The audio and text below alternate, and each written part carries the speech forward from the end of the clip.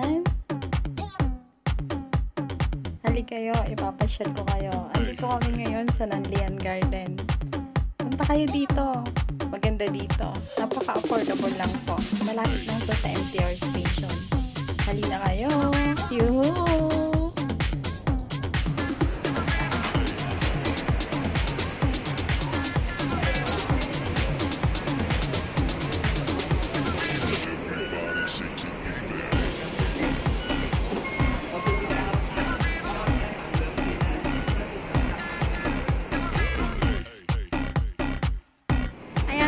Turn right.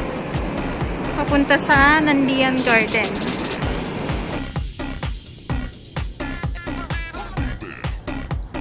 Ayan, tatawid kayo dyan. Ito na yung pinaka-gate ng Nandian. Sa mga nais pumunta dito, ayan, maganda po dito, try nyo. Diamond Hill lang, MTR Station. Ayan, mga bato dito guys. Kakaiba siya. Hindi ko alam kung sinadya yan o talagang yan na yung tsura nila. Ayan, nandito na tayo sa may pagpasok. See? Yung pinaka-gate niya. Kakaiba. Ayan na siya. Mo na yung mga bato. Oh. Hindi ko alam kung ginawa yan o ano. Parang mga ansayan tracks. Maganda dito. Ayan. Maganda yung ano, may mga Andiyan yung lahat na halos ng klase ng bonsai.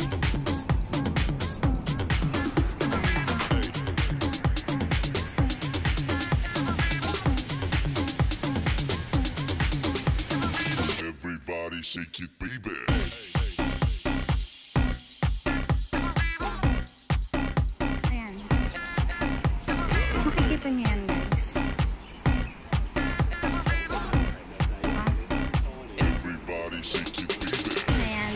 Sa loob ng Nanlian, concrete park siya. Ayan. Pero meron siyang ah, lagoon. See? Man-made na nga lang siya. Pero ang ganda. Ito niya yan. Napaka-eye refreshing. Ang galing. Ang galing ng pagkaka-landscape nila dito. Ito pa. May papakita pa ako sa inyo isang ang gandang bato. Ayan, taas niya. Ayan. Mula sa baba. Ang taas niya. Ang galing.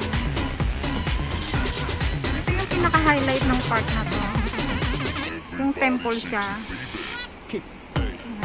Yan talaga yung pinaka ah, view ng mga nagpipictorial dito. Ayan siya. Ganda siya oh. Kukuhanan ko nga siya ng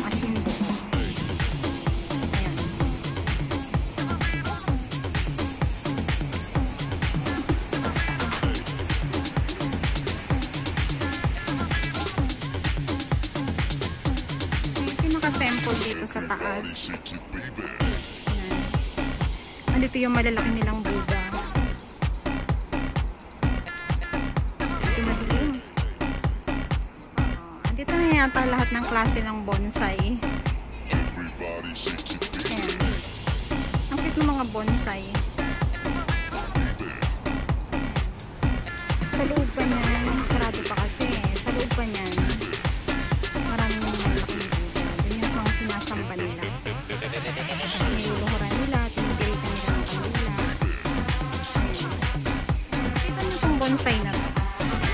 Meron siyang mga duwende dun sa baba. Ayan, duwende. Nag-uusap sila. Nagpipi. Ito naman yung mga water lilies. Ang ganda dito. Pasyalan nyo dito guys. Bawat space dito sa Hong Kong is napapakinabangan. Ang ganda ng pagkaka-landscape niya. Diba? ba? nag exist pa din dito yung mga water lilies, katulad niya, no? Iba't iba yung flower niya. Iba't iba yung makikita niyong petals.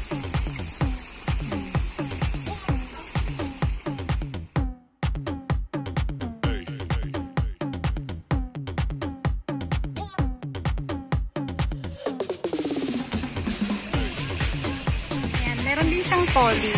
Water poly siya.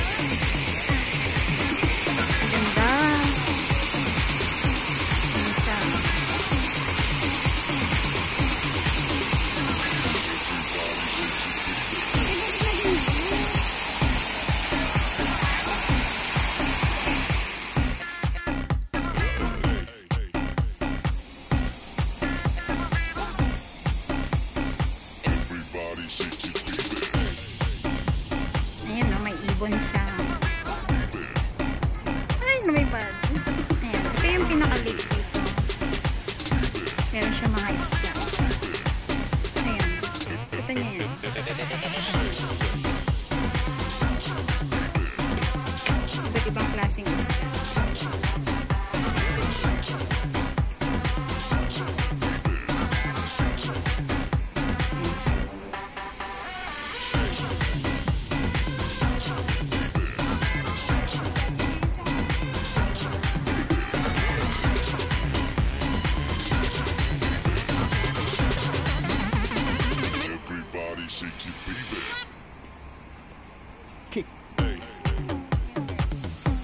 Papalabas na kami ng park.